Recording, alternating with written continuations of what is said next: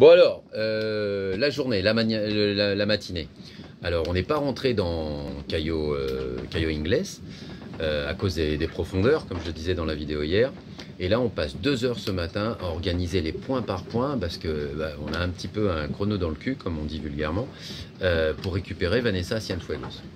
On regarde les itinéraires. Bon, Cienfuegos avec Vanessa, il va y avoir 60 000 à faire. Peut-être que c'est mieux de revenir, la récupérer à Trinidad.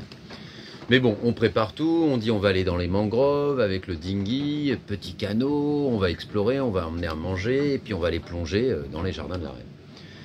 Tout est prêt, euh, on n'a plus qu'à déjeuner à y aller, et là il y a un vent qui se lève, il y a 18 nœuds, euh, rafale à 20 nœuds, petit peu de travers, je suis pas tranquille à laisser le loup, et il y a des pêcheurs qui passent en disant mais pourquoi vous n'êtes pas à Cayo Grande à 5000, un peu plus protégé Changement de plan, c'est le vent qui décide eh ben on va à Cayo Grande euh, et puis on reviendra peut-être là euh, ce soir.